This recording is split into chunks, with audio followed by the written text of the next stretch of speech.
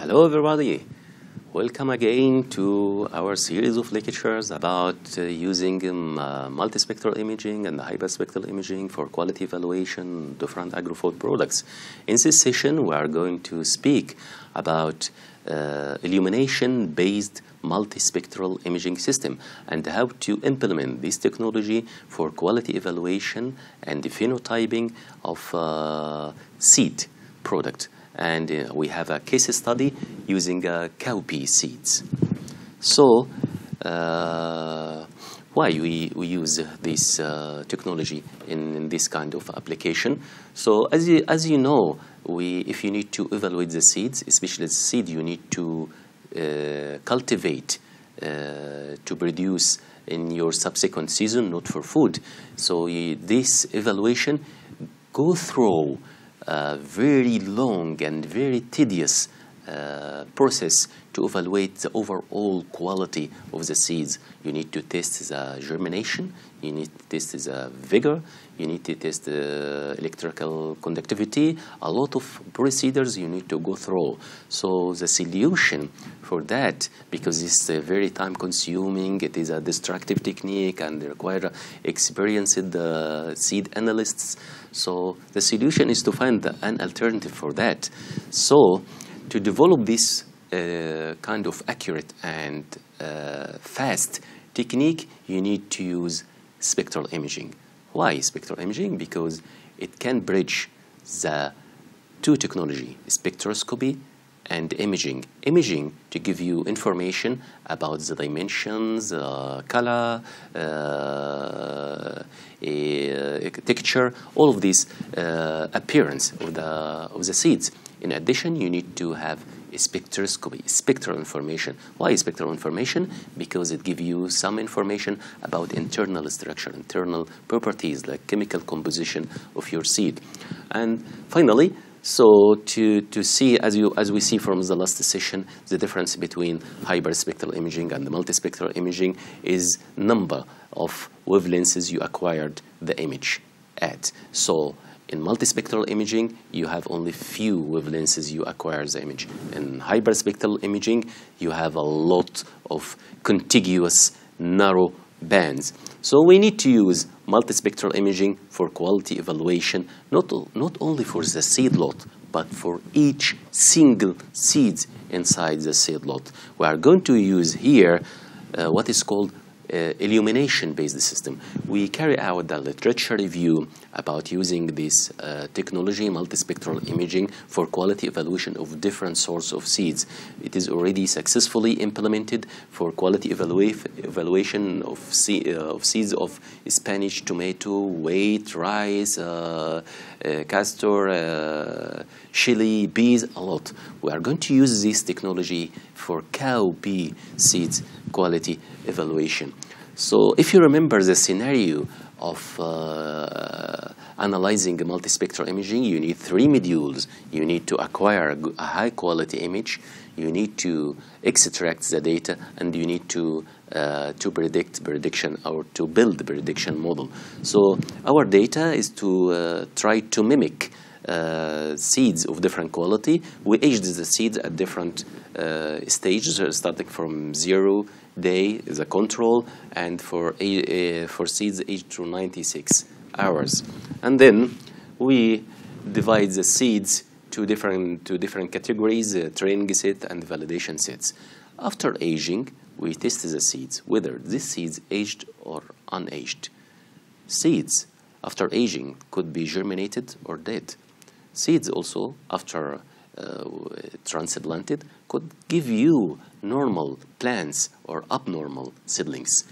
And finally, these seeds can germinate very fast, maybe within 24 hours or 48 hours, depending on the, your variety, or could be medium to, to germinate in, in medium uh, period. And finally, these seeds could be died at all, could be uh, non-germinated at all. So different classification. So uh, we prepared the seeds with different categories, and we are going now to acquire the image. This is the full protocol. As you see here, we have the seeds in the middle. We go to acquire the image in right-hand side. But first, we need, as, you, as I told you, to acquire a high-quality image, you need to calibrate your system.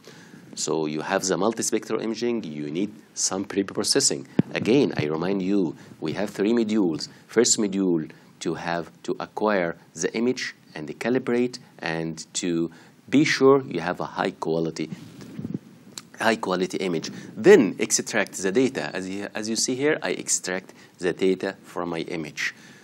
This is from my hand. Right hand is obtaining the data from the image. From the other hand, I need to obtain information about real characteristics of the seeds.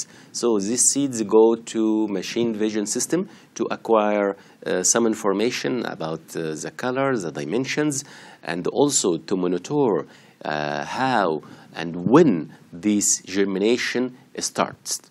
And then we transplanted the seeds inside the growing chamber to, to know which, which seed give, you, give us uh, uh, good uh, seedlings and the other which one that give us uh, bad seedlings and finally which seeds that is already not germinated at all.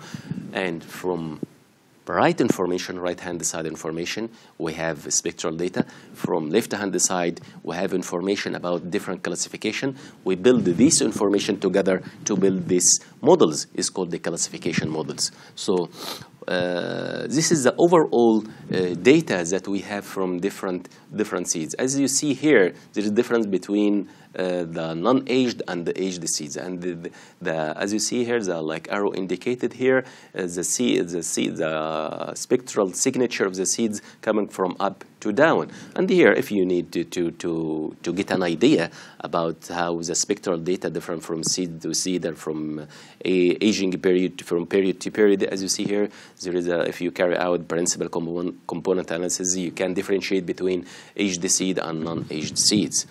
So this is a model, very simple model. It's called linear discriminant analysis model. To, to build this linear discriminant analysis model, you need to put in your mind, you need to categorize your data to different categories like aged, non-aged, germinated, non-germinated, uh, or uh, to, to, to see this normal or abnormal. And this is the first results of our, of our data. As you see here, if you need to, uh, to predict whether this uh, this seed is, is already uh, aged or non-aged. As you see, the, the model we developed has a high percentage of accuracy. It is 97.5% of accuracy in the training set. But usually, I advise you to look usual all the time for validation set because it's much better to avoid uh, uh some problems in, in during developing the model, like uh, overfitting or underfitting, something like that. Also, if you if you look to the uh, quality of the model, 97% correct for classification. So to differentiate between germinated or ungerminated, it is alive that can give, the embryo can be developed or dead. The seed is already dead. As you see, the accuracy is reasonable. It's still in validation set is 80, 81% correct classification based only in the spectral data we extracted from the original seeds. Uh, final uh, classification, it is uh, called uh, differentiate between normal and abnormal. Unfortunately, the results is not very optimistic at the moment, be, maybe because we have a very limited number of seeds, it's only 500 seeds. But if I think if we have a lot of seeds, like thousands of seeds, we can develop a very nice model. We can even try linear or nonlinear uh, models, can improve the quality of these models.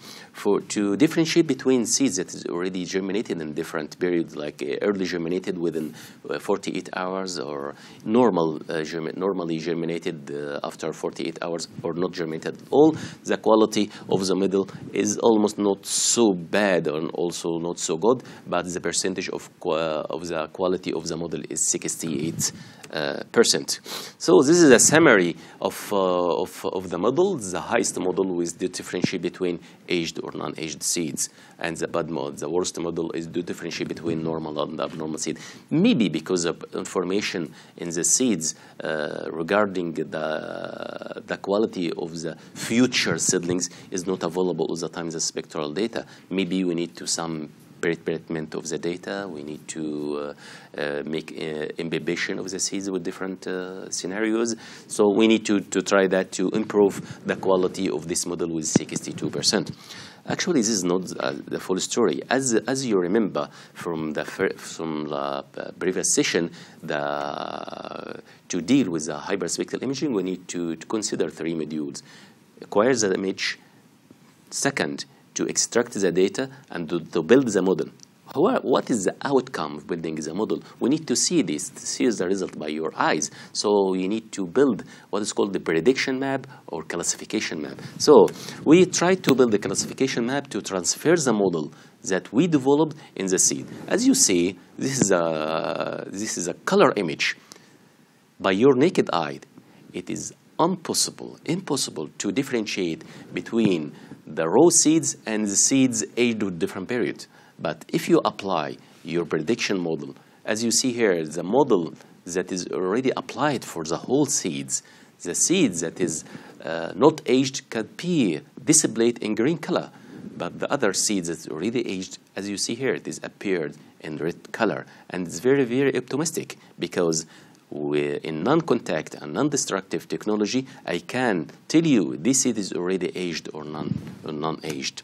So the conclusion of, uh, of this uh, case study, uh, the, as you see here, there is a high capability of this illumination-based multispectral imaging for quality evaluation of, of seed product. And this, of course, open new venue of this state-of-the-art technology, not only for seed, for seed science and technology, but different kind of agro-food products. Hopefully, we, we transfer a good knowledge and we share this information with you and hopefully to be very useful if you are interested to, to listen more and to know more information, you came to your, the right place, and hopefully this information will be very useful for you, and see you in other sessions. Goodbye.